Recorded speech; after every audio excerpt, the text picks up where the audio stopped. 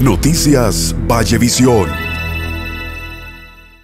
Bueno, yo lo de abrir la calle no lo he escuchado, yo no sé. Yo creo que eh, a quien le corresponde eso debe ser al, al ayuntamiento.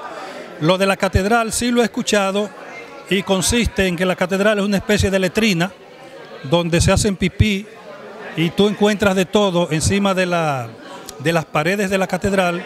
Eso es un lugar sagrado y si no hay una disposición que yo diría que, o un organismo que, que impida o que diga que no se puede hacer, porque si, si no se puede hacer, no se puede hacer, digo yo.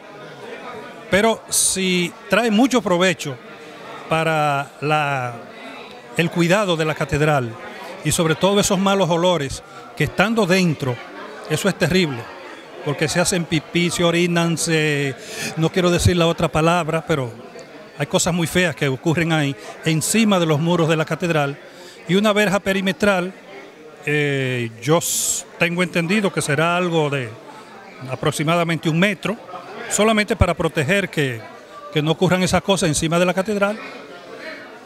Pero eh, eh, yo no soy la autoridad, yo lo he escuchado. ¿Usted espera que le aprueben esto para ponerle a la verja?